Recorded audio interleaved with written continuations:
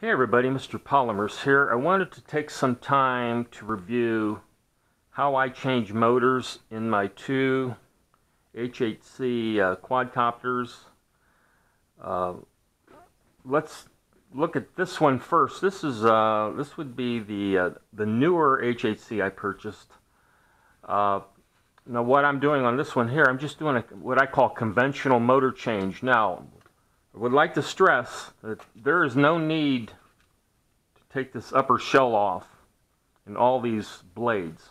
Number one, it would be ridiculous. And number two, each of these arms has seven has seven screws. One, two, three, four, five, six, seven.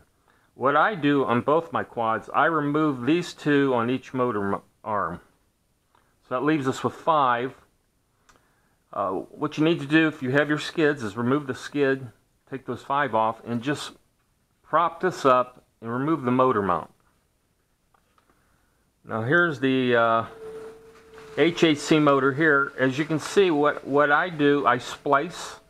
These are the wires from the main board. I splice them here about an inch or so from the motor. And I go and solder. I solder the two wires together. Use a decent soldering iron. This one here is actually temperature controlled.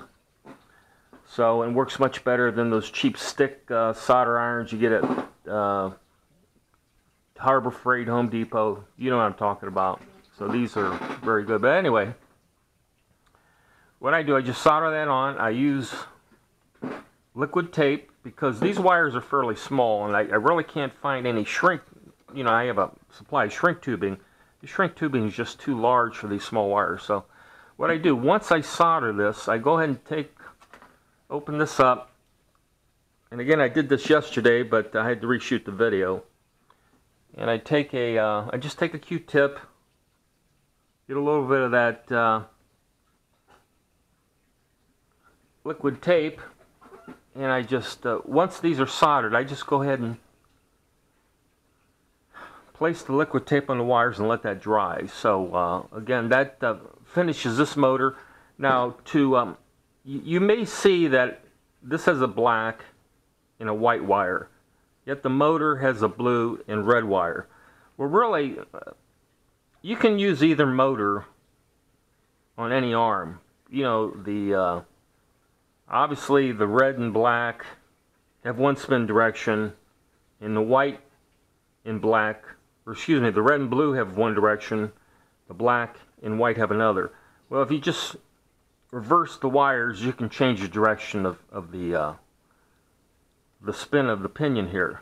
You know, oftentimes you may be down to one motor. Let's say, for example, all I had was this motor with the red and blue. So you just, you just uh, switch the uh, wires. Now, normally on these motors, uh, the black wire and the blue wire is like the negative.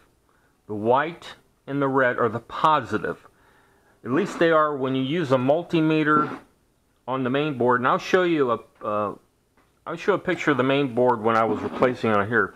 But anyway, you can kind of look at it that way. So if you're using different colors, you just switch them. Again, red, red to black, blue to white, and that'll give you, that'll change the rotation that you need. Also, another way to check these motors is all these arms have a spin. For example, this motor, this would be the right front has a clockwise rotation, or excuse me, counterclockwise rotation. So to test the motor, once you have that, you just turn the quad on, and uh, I won't do it here, but turn the quad on, and you want to make sure this pinion is going the opposite way. So if this is counterclockwise, you want to make sure this pinion is going clockwise. That will turn the motor, or the, excuse me, the blade counterclockwise. So fairly straightforward. Takes maybe, you know, 10 minutes at most. You know, I've done this a few, you actually get to learn to do this a number of times on these quads. I'll get into that in a little bit. So we'll put this aside again. That's kind of my suggestion on someone who doesn't want to get too involved or wants a quick way to change a motor. Now, let's bring our attention to this quad. This is my, uh, this is my original quad and I'll place a picture. This is the one I lost the main board and I replaced the main board. But what I did on this quad when I was doing that, I placed micro connectors here. In fact, you can buy these on eBay, Banggood, whatever. I, don't, I forget where I purchased them, but just do a. They're just called a micro connector. You know, they have a, you know, male and female part to them. You know, I put the female, the larger plug, on the board. Uh, and then ran ran the wire up. It's it's it comes to here, and then what I what I have been doing is I have been using taking uh, the new motors, cutting the wires, and then just uh, again uh, soldering this micro they call it micro connector on the motor. Now why do I do this? Well, if I'm out in the field flying, I, I necessarily just can't. If I want to fly some more, I may not be able to run home and use my soldering iron. So this enables me to change motors out in the field fairly quickly. Again, I just have the five screws to take out. This quad here, I am not running my skids. This is going to be my racing quad here. So, uh, you know, I might try to do some video of it, placing the uh, keychain camera on it, but I'm going to have to catch it or maybe land it in a, uh, you know, a big, a big beach towel because the camera's exposed, but without the skids, it does perform. It's faster. It's about as light as you're going to get it. So anyway, th these are my, uh, they're a little bit of work putting these connectors on, but uh, once you've done it, uh, it just makes it simpler. Again, if you're, say you're outside, you're away from home, and you lose a motor, which for me, I average losing a motor every 14 minutes. Now, I just received four motors yesterday. This is my last one. I had to replace a motor on this one. Excuse me, I had to replace one motor on this one. I lost two motors on this. So now I'm not saying I lost them yesterday, but I had to replace one. I flew it briefly yesterday, and I lost another motor. So I think it may be maybe this one here. So I thought uh, I thought my V262 with these N50 motors, I thought this was a motor eater. Now let me show you the, these are the infamous V262 motors, same motor that there's a few of you looking at the Tarantula, it has this motor. Uh, this will burn out too, however, I've had a lot of luck using this product called Ideal. It's an electronic switch and contact cleaner. What I do on these new V262 uh, motors is, you know, you put the motor in, you run it up at low RPM for a few minutes. Go ahead and spray in that small hole where the brushes are, and then run it again for just a minute or two. You don't have to do it too long. Do that every three or four flights. Uh, my experience has been I've uh, extended the life uh, tremendously so far. In fact, I make a note when I replace a motor on the V262. The last time I replaced the motor on this was uh, December, looks like December 24th, the day before Christmas. Now I don't fly this every day all the time, but so far uh, this has been doing well with this cleaner.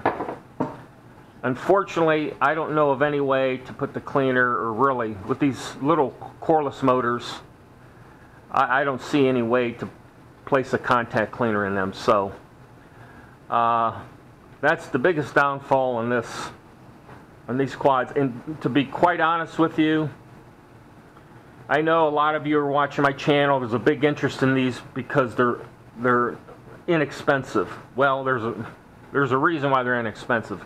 To me, it becomes a hassle to place to continue to replace motors. I mean, this by far takes first prize on crapping out or motors crapping out. However, now I do have my smallest quad in my collection is my JXD 392. Now I'm just bringing this up. This also runs a motor. This is a JXD motor. Now it's surprisingly JXD H8C. They're physically the same size, but this runs, the JX, the JXD runs on 3.7 volt system, the H8C runs on 7.4 volt, and I think that's the issue. 7.4 volts on this motor is going to burn them out. So that, that's that's a, a design flaw in this quadcopter. When I originally purchased it, I thought um, having 7.4 volts would give you more punch, which it does, but at the sacrifice of burning these motors out. So I have much better luck on my small JXD uh, 392 with these coreless motors. I've lost three motors, but that's over probably a period of six months owning this. This is an ideal quad to learn on, by the way. For any of you getting into the hobby, I'd learn on this. I'd skip that. I mean, if you want to stay within a budget, if you want to stay within a budget, maybe go to a, a, a Tarantula maybe, or this is the V262. Uh, better yet, the Corliss. And then when you get pretty confident, you get up to the Cheerson. Again, this this uh, uh, has the uh, brushless motors, but not a beginner's quad. And at almost three pounds, this could uh, do serious damage. So don't get involved with this unless you can fly. So anyway, uh, just wanted to kind of go over what I'm doing with my uh, two H8Cs. I hope to have my uh, hope to have my 3DX6 here in two weeks. Uh, that's going to be that's going to be my go-to quad, or that's that's my my plans, or my 3DX6 to be my go-to quad. It's 250 size.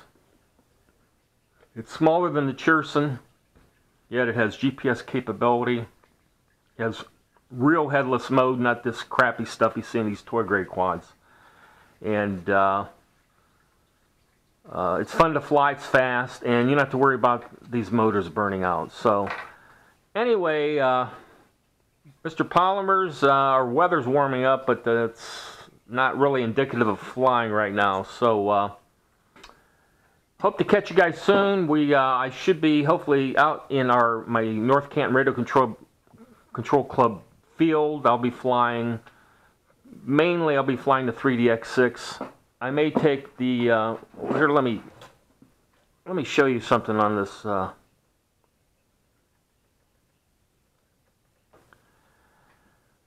As you see, I put extra lights on my V262. So these are just actually the same lights under here, but I ran them on the circuit board to give me more light.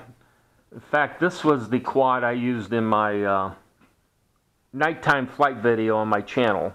Hopefully you guys are watching my videos. What I also have on the V262 is a, uh, this is a low voltage alarm. So this will alarm even before the lights come on. So this gives you a lot of advance warning. Especially, I fly this pretty high. You don't want this going to low voltage because you'll lose it somewhere on a roof or in the woods. So it's important to have low voltage alarms. When you get in any decent sized quad, even my Cheerson has a low voltage alarm. It has one internally. It's not overly loud. Not not sure what happened. Could have, could have been due to one of the crashes. But uh, I use a low voltage alarm on the Cheerson. You can never have too many alarms on these quads. So uh, you just use. You do have to have a, a, battery with a balance plug. So you can only have an alarm that I'm aware of on a uh, two cell or larger battery. And this will indicate, uh, for example, this is running 8.24 volts, 414 and 410 on each cell. So then when this, I have this set to about 3.4 volts, it'll start alarming off.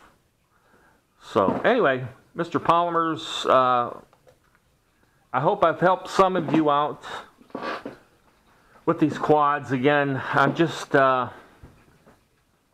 I'd kind of stay away from this again, a toy grade quad at 7.4 volts, I'd stay away from them.